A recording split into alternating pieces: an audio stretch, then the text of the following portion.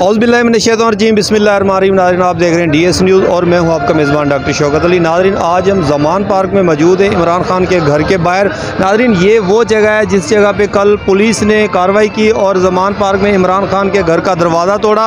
और नाजरीन, मैं आपको साथ साथ ये भी बताता जाऊँ कि ये निगरान हुकूमत है। निगरान हुकूमत तो ये काम कर ही नहीं सकती। निगरान हुकूमत तो एक जो चपड़ासी है ना, जो चौकीदार है, नायब कासद है, वो भी ट्रांसफ़र नहीं कर सकता।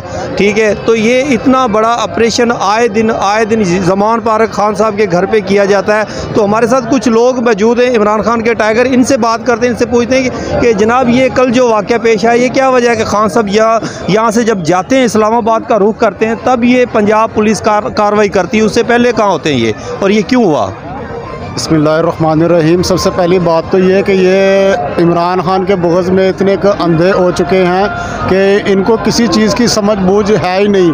ये सब तो सबसे पहली बात तो ये कि निगरान हुकूमत का तो काम ये बनता ही नहीं, उनका काम ये होता है कि उनको निगरान इसलिए समझ मतलब बनाया जाता है कि वो आके इलेक्शन करवाए free and fair free and fair election का मतलब यही होता है कि हर किसी को पूरा मौका दिया जाए कि वो अपनी कंपेन करे लोगों के साथ जाके बातचीत करे मिले। तो इसका ये मतलब नहीं है कि आप आके इमरान खान के बुगज़ में आपने इमरान खान यहाँ से घर से निकला है आपने पीछे से आके उसके घर पे हमला कर दिया है। घर पे हमले के बाद चलो घर पे हमला कर दिया यहाँ पे इतनी बहुत थोड़ फोड़ की है कि जो ज़िंदगी में कभी हमने सियासत में देखी नहीं है। बचपन से हम सुनते आ रहे कि नून लीग की सियासत का नून लीग की सियासत तो इतनी गंदी सियासत है कि ये तो किसी को भी, नहीं बख्शते। ठीक है अगर इनका कोई बात ठीक है, ना माने तो उसको कत्ल करवा देते हैं। और दूसरी बात यह कि देखिए, ये जो इन्होंने हाल किया, ये इन्होंने अपनी तरफ़ से ये कर दिया, वहाँ ने फिर आके ये वहाँ दरवाज़ा नहीं तोड़ा, इन्होंने लोगों के दिल तोड़े हैं। इमरान खान लोगों के दिलों में बसता है। ये वो इमरान खान नहीं है कि इनके लिए जो है ना, वो हलवे की तरह वो साबित हो, ये लोहे के चने साबित होंगे इमरान खान इनके लिए। इन वो फजल खुदा वो दिन आएगा, इलेक्शन आने दे, हम इनका बदला इन अपनी वोट के ताकत से इनसे ये बदला लेंगे। और राना सनाउल्ला मैं इनको कहता हूँ, ये कान खोल के ये तुम सुन लो। बरोद इन जिस दिन इलेक्शन होगा इन दो तिहाई नहीं, तीन तीन तिहाई अक्सरियत से हम दोबारा गवर्नमेंट बनाएँगे इंशाल्लाह और तुम्हें घसीटेंगे। पहले तो खान साहब ने कहा था कि तुम्हें मूछों से पकड़ के ना हम जेल में डालेंगे। इस दफ़ा मूछों से मूछों से भी पकड़ेंगे और तुम्हारे वो जो प्राइवेट पार्ट है, जिनको तुम नंगा कर करके लोगों को हमारे जो कायदीन है, उनको तुम नंगे कर करके उनके प्राइवेट पार्ट चेक करते हो ना इन तुम्हारा वो प्राइवेट पार्ट हम ऐसा ख़राब करेंगे कि तुम सारी ज़िंदगी किसी को मुँह दिखाने के काबिल नहीं रहोगे।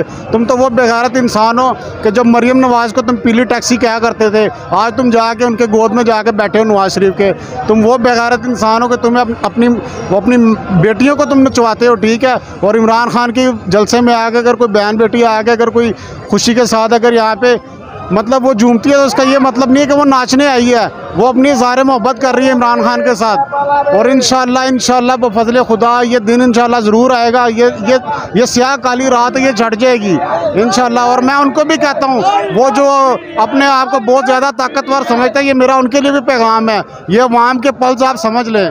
ये एक दिन की बात नहीं है इन ये ये इलेक्शन जब आएँगे, आपको इन हर एक एक चीज़ का हम हिसाब लेंगे इन छोड़ेंगे नहीं, आपसे हमारा ये वादा है। और इंशाल्लाह ये वादा हम ज़रूर पूरा करेंगे जैसे इमरान खान वादा करता है और ये वादा इंशाल्लाह हम ज़रूर पूरा करेंगे इंशाल्लाह।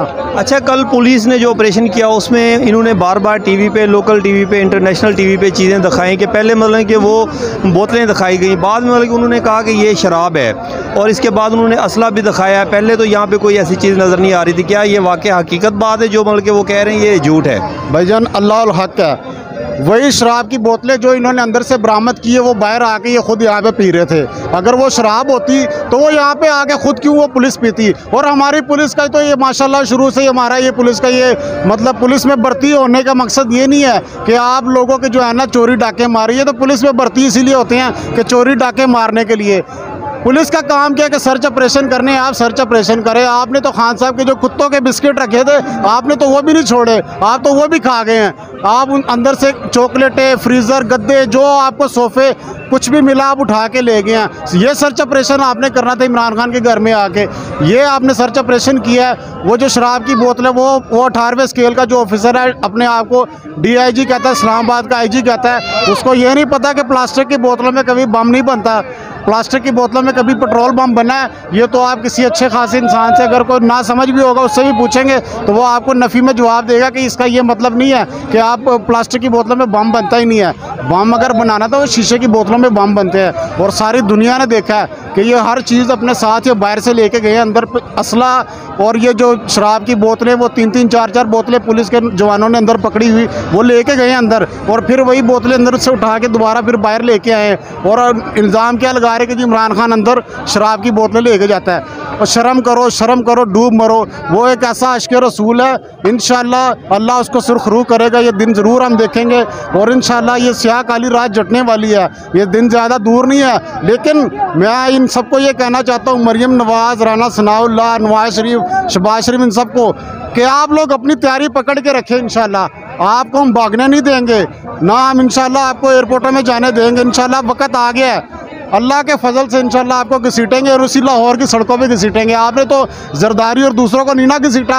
ये तरीके इंसाफ के टाइगर आपको घसीट के दिखाएँगे, इंशाल्लाह घसीटेंगे। जी, बहुत मेहरबानी। नाजरीन, ये हमारे साथ इमरान खान के बहुत बड़े बड़े यहाँ पे टैकर आए हुए हैं और इनका यही कहना है कि इन हम राना सनाउल्ला को किसी कीमत में माफ़ नहीं करेंगे। इन इमरान खान की दोबारा हुकूमत आने वाली है। हम भी ये अल्लाह की बारगार में वादा करते हैं और खान साहब से वादा करते हैं कि जैसे ही हमारी हुकूमत आएगी, हम राना सनाउल्ला मरियम नवाज़ और जिस जिस बंदे ने यहाँ पे करदार अपना अदा किया है। ये कल जो इन्होंने अपना काम दिखाया हम कभी माफ़ नहीं करेंगे। इसी के साथ अपने मेज़बान डॉक्टर शौकत को इजाज़त दें। देखते रहें डी एस न्यूज़। अल्लाह हाफिज़।